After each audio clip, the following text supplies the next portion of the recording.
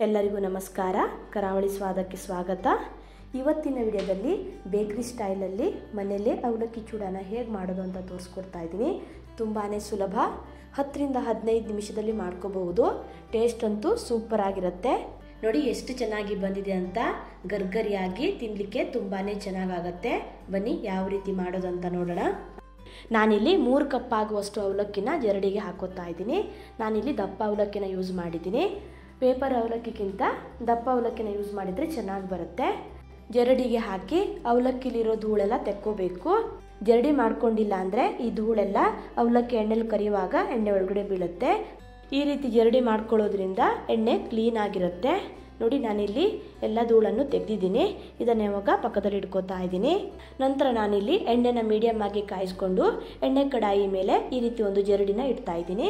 ನಾನಿಲ್ಲಿ ಅರ್ಧ ಕಪ್ ಆಗುವಷ್ಟು ಕಡಲೆ ಬೀಜ ಅಂದರೆ ಶೇಂಗಾನ ಹಾಕ್ಕೊಂಡಿದ್ದೀನಿ ಇದನ್ನು ಸ್ವಲ್ಪ ಹೊತ್ತು ಎಣ್ಣೆಯಲ್ಲಿ ಫ್ರೈ ಮಾಡ್ಕೋಬೇಕು. ಕಡಲೆ ಬೀಜ ಕ್ರಿಸ್ಪಿಯಾಗಿ ನೋಡಿ, ಈ ರೀತಿ ಸ್ವಲ್ಪ ಕಲರ್ ಚೇಂಜ್ ಆಗೋವರೆಗೆ ಇದನ್ನು ಫ್ರೈ ಮಾಡ್ಕೋಬೇಕು. ನೋಡಿ ಸಿಪ್ಪೆಲ್ಲ ಬಿಟ್ಕೊಳ್ತಾ ಇದೆ. ಇಷ್ಟಾದರೆ ಸಾಕು. ಇದನ್ನು ಇವಾಗ ಎಣ್ಣೆಯಿಂದ ತೆಗಿತಾ ಇದ್ದೀನಿ.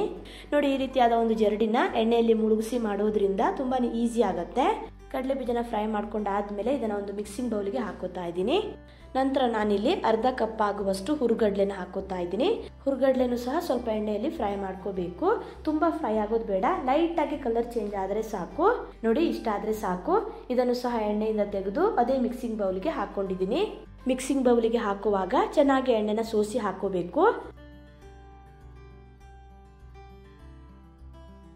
ನಂತರ ನಾನಿಲ್ಲಿ ಅರ್ಧ ಕಪ್ ಆಗುವಷ್ಟು ಒಣ ಕೊಬ್ಬರಿನ ಈ ರೀತಿ ಉದ್ದದ ಕಟ್ ಮಾಡಿ ಹಾಕ್ಕೊಂಡಿದ್ದೀನಿ ಇದನ್ನು ಸಹ ಸ್ವಲ್ಪ ಕಲರ್ ಚೇಂಜ್ ಆಗೋವರೆಗೆ ಫ್ರೈ ಮಾಡ್ಕೋಬೇಕು. ನೋಡಿ, ಈ ರೀತಿ ಕಲರ್ ಚೇಂಜ್ ಆಗಿ ಸ್ವಲ್ಪ ಕ್ರಿಸ್ಪಿ ಆಗೋ ತನಕ ಇದನ್ನು ಫ್ರೈ ಮಾಡ್ಕೊಂಡಾದ್ಮೇಲೆ ಎಣ್ಣೆಯಿಂದ ತೆಗೆದು ಅದೇ ಮಿಕ್ಸಿಂಗ್ ಬೌಲ್ಗೆ ಹಾಕ್ಕೋತಾ ಇದ್ದೀನಿ. ನಾನೇನು ಫ್ರೈ ಮಾಡ್ಕೋತಾ ಇದ್ದೀನಲ್ಲ, ಅದನ್ನೆಲ್ಲ ಒಂದು ದೊಡ್ಡ ಮಿಕ್ಸಿಂಗ್ ಬೌಲ್ಗೆ ಹಾಕಿಡ್ತಾ ಇದ್ದೀನಿ. ಮಿಕ್ಸ್ ಮಾಡುವಾಗ ಈಸಿ ಆಗಲಿ ಅಂತ.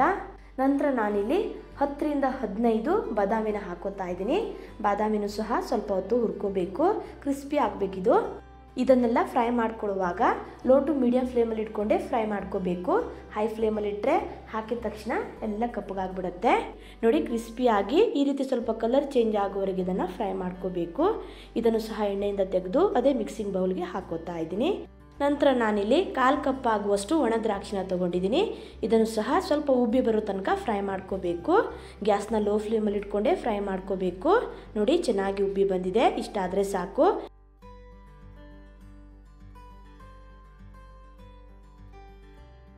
ನಂತರ ನಾನಿಲ್ಲಿ ಸ್ವಲ್ಪ ಕರಿಬೇವನ್ನ ಹಾಕೋತಾ ಇದ್ದೀನಿ.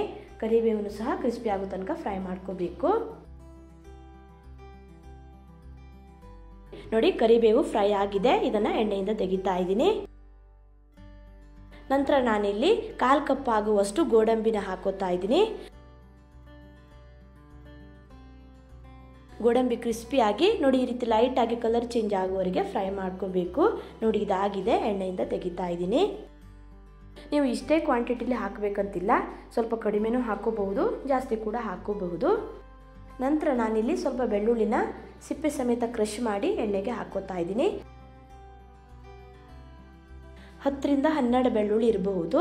ಇದನ್ನು ಸಹ ನೋಡಿ ಈ ರೀತಿ ಸ್ವಲ್ಪ ಕಲರ್ ಚೇಂಜ್ ಆಗಿ ಕ್ರಿಸ್ಪಿ ಆಗೋ ತನಕ ಫ್ರೈ ಮಾಡ್ಕೋಬೇಕು. ನೋಡಿ ಇದಾಗಿದೆ, ಎಣ್ಣೆಯಿಂದ ತೆಕ್ಕೋತಾ ಇದ್ದೀನಿ. ನೋಡಿ, ಇದೆಲ್ಲವನ್ನು ಫ್ರೈ ಮಾಡ್ಕೊಂಡು ಆದಮೇಲೆ ಕೊನೆಗೆ ನಾನಿಲ್ಲಿ ಅವಲಕ್ಕಿನ ಫ್ರೈ ಮಾಡ್ಕೊತಾ ಇದ್ದೀನಿ. ಸ್ವಲ್ಪ ಸ್ವಲ್ಪ ಅವಲಕ್ಕಿನ ಹಾಕ್ಕೊಂಡು ಫ್ರೈ ಮಾಡ್ಕೋಬೇಕು. ಒಂದೇ ಸಲ ಜಾಸ್ತಿ ಹಾಕ್ಕೊಳ್ಳಿಕ್ಕೆ ಹೋಗಬಾರ್ದು. ಚೆನ್ನಾಗಿ ಫ್ರೈ ಮಾಡ್ಕೊಂಡು ಆದಮೇಲೆ ಅವಲಕ್ಕಿ ಸ್ವಲ್ಪ ಉಟ್ಕೊಳ್ಳುತ್ತೆ ಹಾಗಾಗಿ ಸ್ವಲ್ಪ ಸ್ವಲ್ಪ ಅವಲಕ್ಕಿನ ಹಾಕ್ಕೊಂಡು ಫ್ರೈ ಮಾಡ್ಕೋಬೇಕು. ಒಂದೇ ಸಲ ಜಾಸ್ತಿ ಹಾಕಿದರೆ ಮೇಲೆ ಬರೋ ಚಾನ್ಸಸ್ ಇರುತ್ತೆ. ನೋಡಿ, ಈ ರೀತಿ ಕ್ರಿಸ್ಪಿಯಾಗಿ ಸ್ವಲ್ಪ ಉಬ್ಕೊಳ್ಳೋ ತನಕ ಇದನ್ನು ಫ್ರೈ ಮಾಡ್ಕೋಬೇಕು. ನೋಡಿ, ಇದಾಗಿದೆ. ಎಣ್ಣೆಯಿಂದ ತೆಗಿತಾ ಇದ್ದೀನಿ. ನಾನಿಲ್ಲಿ ಫ್ರೈ ಮಾಡ್ಕೊಂಡಿರೋದನ್ನೆಲ್ಲ ದೊಡ್ಡದಾದ ಒಂದು ಮಿಕ್ಸಿಂಗ್ ಬೌಲ್ಗೆ ಹಾಕಿಟ್ಕೊಂಡಿದ್ದೀನಿ. ಎಲ್ಲ ಅವಲಕ್ಕಿನೂ ಅದೇ ರೀತಿ ಸ್ವಲ್ಪ ಸ್ವಲ್ಪ ಹಾಕಿ ಫ್ರೈ ಮಾಡಿಕೊಂಡ್ರೆ ಆಯಿತು. ನಾನಿಲ್ಲಿ ಐದರಿಂದ ಆರು ಬ್ಯಾಚಸಲ್ಲಿ ಅವಲಕ್ಕಿನ ಫ್ರೈ ಮಾಡ್ಕೊಂಡಿದ್ದೀನಿ. ನೋಡಿ ಅವಲಕ್ಕಿ ಎಲ್ಲ ಫ್ರೈ ಆಗಿದೆ. ಇದೆಲ್ಲವನ್ನು ಅದೇ ಮಿಕ್ಸಿಂಗ್ ಬೌಲ್ಗೆ ಹಾಕೋತಾ ಇದ್ದೀನಿ. ನಂತರ ನಾನು ಇವಾಗ ಮಸಾಲನ ರೆಡಿ ಮಾಡ್ಕೊಳ್ಳಿಕ್ಕೆ ಸ್ಟೋವ್ ಮೇಲೆ ಒಂದು ಪ್ಯಾನ್ ಇಟ್ಟು ಅದರಲ್ಲಿ ಎರಡು ಚಮಚ ಆಗುವಷ್ಟು ಸೋಂಪು, ಎರಡು ಚಮಚ ಜೀರಿಗೆ, ಹಾಗೆ ಮೂರು ಚಮಚ ಧನಿಯಾ ಬೀಜನ ಹಾಕೋತಾ ಇದ್ದೀನಿ. ಗ್ಯಾಸ್ನ ಲೋ ಫ್ಲೇಮಲ್ಲಿಟ್ಟು ಇದನ್ನೆಲ್ಲ ಸ್ವಲ್ಪ ಹೊತ್ತು ಹುರ್ಕೋಬೇಕು. ತುಂಬ ಹೊರಿಯೋದು ಬೇಡ. ನೋಡಿ, ಈ ರೀತಿ ಲೈಟಾಗಿ ಕಲರ್ ಚೇಂಜ್ ಆದಮೇಲೆ ಇದನ್ನು ಮಿಕ್ಸಿ ಜಾರಿಗೆ ಹಾಕೋತಾ ಇದ್ದೀನಿ. ನಂತರ ಅರ್ಧ ಚಮಚ ಆಗುವಷ್ಟು ಅರಶಿನ ಪೌಡರ್ ಒಂದು ಕಾಲು ಚಮಚ ಆಗುವಷ್ಟು ಚಿಲ್ಲಿ ಪೌಡರ್ನ ಹಾಕೋತಾ ಇದ್ದೀನಿ. ನಿಮಗೆ ಖಾರ ಎಷ್ಟು ಬೇಕು ಅಂತ ನೋಡಿಕೊಂಡು ಚಿಲ್ಲಿ ಪೌಡರ್ನ ಹೆಚ್ಚು ಕಮ್ಮಿ ಹಾಕೋಬಹುದು. ಹಾಗೆ ಚಿಟಿಕೆ ಆಗುವಷ್ಟು ಇಂಗನ್ನು ಹಾಕೋತಾ ಇದ್ದೀನಿ. ನಂತರ ಒಂದು ಚಮಚ ಆಗುವಷ್ಟು ಉಪ್ಪನ್ನು ಹಾಕೋತಾ ಇದ್ದೀನಿ. ಇದೆಲ್ಲವನ್ನು ನುಣ್ಣಗೆ ಪುಡಿ ಮಾಡ್ಕೋಬೇಕು. ನೋಡಿ, ಈ ರೀತಿ ಪೌಡ್ರ್ ಥರ ಪುಡಿ ಮಾಡ್ಕೋಬೇಕು. ಈ ರೀತಿ ಪೌಡರ್ ಮಾಡಿ ಹಾಕೋದ್ರಿಂದ ಅವಲಕ್ಕಿ ಚೂಡ ತುಂಬಾ ರುಚಿಯಾಗಿ ಬರುತ್ತೆ. ಒಂದೇ ಸಲ ಎಲ್ಲ ಪೌಡರ್ನ ಹಾಕೊಳ್ಳಿಕ್ಕೆ ಹೋಗಬೇಡಿ.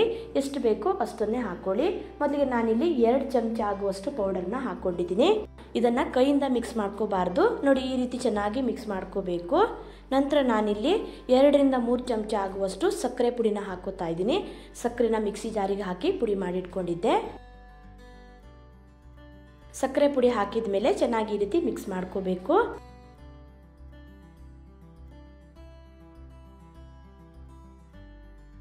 ಸಕ್ಕರೆ ಪುಡಿ ಹಾಗೆ ಮಸಾಲ ಪೌಡರ್ ಎರಡು ಕಡಿಮೆ ಇದೆ ಅನಿಸ್ತಾ ಇರೋದ್ರಿಂದ ಮತ್ತೆ ಸ್ವಲ್ಪ ಹಾಕೋತಾ ಇದ್ದೀನಿ. ಒಂದೇ ಸಲ ಜಾಸ್ತಿ ಹಾಕೊಳ್ಳೋ ಬದಲು ನೋಡಿ ಈ ರೀತಿ ಸ್ವಲ್ಪ ಸ್ವಲ್ಪ ಹಾಕ್ಕೊಂಡು ಚೆನ್ನಾಗಿ ಮಿಕ್ಸ್ ಮಾಡ್ಕೊಳ್ಳಿ. ನಿಮಗೆ ಬೇಕಿದ್ರೆ ಆಮೇಲೆ ಸೇರಿಸ್ಕೋಬಹುದು. ಈ ರೀತಿ ಮಿಕ್ಸ್ ಮಾಡ್ಕೊಳ್ಳೋದ್ರಿಂದ ಎಲ್ಲ ಕಡೆ ಸಕ್ಕರೆ ಪುಡಿ ಹಾಗೆ ಮಸಾಲ ಪೌಡರ್ ಚೆನ್ನಾಗಿ ಮಿಕ್ಸ್ ಆಗುತ್ತೆ. ಕೈಯಿಂದ ಮಿಕ್ಸ್ ಮಾಡಿದರೆ ಸರಿಯಾಗಿ ಮಿಕ್ಸ್ ಆಗಲ್ಲ. ಒಂದು ಚಮಚ ಆಗುವಷ್ಟು ಮಸಾಲ ಪೌಡರ್ ಹಾಗೆ ಇದೆ. ನಾನು ಇದನ್ನು ಹಾಕ್ತಾ ಇಲ್ಲ. ಈ ಪೌಡರ್ನ ಅವಲಕ್ಕಿ ಅಥವಾ ಪಲ್ಯಕ್ಕೆ ಹಾಕೋಬಹುದು. ತುಂಬ ಚೆನ್ನಾಗಾಗತ್ತೆ. ನೋಡಿ ಎಷ್ಟು ಚೆನ್ನಾಗಿ ಬಂದಿದೆ ಅಂತ. ಬೇಕ್ರಿಯಲ್ಲಿ ಮಾಡ್ತಾರಲ್ವ, ಅದೇ ರೀತಿ ಬಂದಿದೆ. ತುಂಬಾ ಚೆನ್ನಾಗಾಗತ್ತೆ. ಟೇಸ್ಟ್ ಕೂಡ ಸಖತ್ತಾಗಿರುತ್ತೆ. ನಿಮ್ಮ ಹತ್ರ ಎಲ್ಲ ಇಂಗ್ರೀಡಿಯೆಂಟ್ಸ್ ಇಲ್ಲ ಅಂತ ಅಂದರೆ ಇರೋದನ್ನು ಹಾಕಿ ಮಾಡ್ಕೋಬಹುದು. ಡ್ರೈ ಫ್ರೂಟ್ಸ್ ಎಲ್ಲ ಹಾಕಿ ಮಾಡೋದ್ರಿಂದ ಟೇಸ್ಟ್ ತುಂಬಾ ಚೆನ್ನಾಗಾಗತ್ತೆ. ಹಬ್ಬಕ್ಕೆ ಹೊರಗಡೆಯಿಂದ ತರೋ ಬದಲು ನೋಡಿ ಈ ರೀತಿ ಈಸಿಯಾಗಿ ಮನೆಯಲ್ಲೇ ಮಾಡ್ಕೋಬಹುದು. ಹಬ್ಬ ಅಂತ ಅಲ್ಲ, ನಿಮ್ಗೆ ಯಾವಾಗ ತಿನ್ಬೇಕು ಅನ್ಸುತ್ತೋ ಆವಾಗ ಈಸಿಯಾಗಿ ಮಾಡ್ಕೋಬಹುದು. ತುಂಬಾ ಚೆನ್ನಾಗಾಗತ್ತೆ. ನೋಡಿ ತುಂಬಾ ರುಚಿಯಾದ, ಗರ್ಗರಿಯಾದ ಅವಲಕ್ಕಿ ಚೂಡ ರೆಡಿ ಆಗಿದೆ. ಖಂಡಿತ ನೀವು ಕೂಡ ಒಂದ್ಸಲ ಟ್ರೈ ಮಾಡಿ ತುಂಬಾ ಚೆನ್ನಾಗಾಗತ್ತೆ. ನಿಮಗೇನಾದರೂ ಇವತ್ತಿನ ವಿಡಿಯೋ ಇಷ್ಟ ಆದರೆ ಪ್ಲೀಸ್ ಲೈಕ್ ಮಾಡಿ ಕಮೆಂಟ್ ಮಾಡಿ. ನಿಮ್ಮ ಫ್ರೆಂಡ್ಸ್ಗೆ ಫ್ಯಾಮಿಲಿಗೆ ಎಲ್ಲ ಶೇರ್ ಮಾಡಿ. ಯಾರೆಲ್ಲ ಸಬ್ಸ್ಕ್ರೈಬ್ ಮಾಡದೆ ನೋಡ್ತಾ ಇದ್ದೀರಲ್ವ, ಅವರು ಕೂಡ ಪ್ಲೀಸ್ ಸಬ್ಸ್ಕ್ರೈಬ್ ಮಾಡಿ. ಮತ್ತೆ ಸಿಗ್ತೀನಿ ಹೊಸ ವಿಡಿಯೋ ಒಂದಿಗೆ ಧನ್ಯವಾದಗಳು.